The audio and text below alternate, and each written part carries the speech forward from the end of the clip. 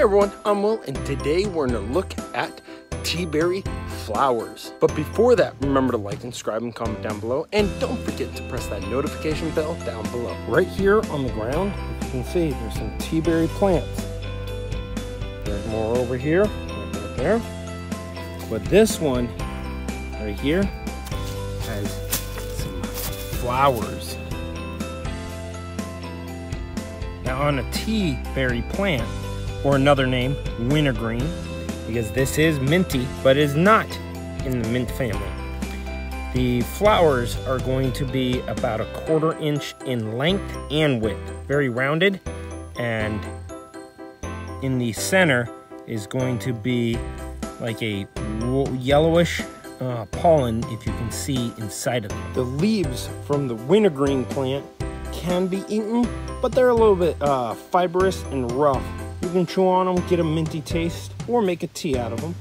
The fruit is a little bit later in the year, and the fruit will winter over, and it actually takes two summers to mature.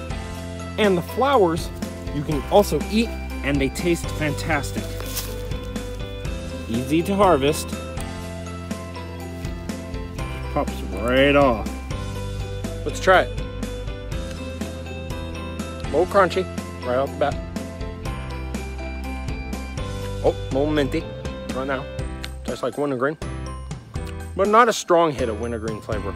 The strongest uh, that you'll get in tea berries uh, plant, that wintergreen taste, is right from the fruit.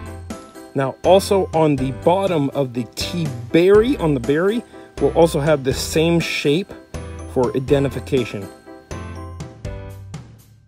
And that's how you identify and find wintergreen flowers or teaberry flowers. If you want to see more, go down in the description below, click the link to my channel, or press the round subscribe button to help me out to get to a thousand subscribers.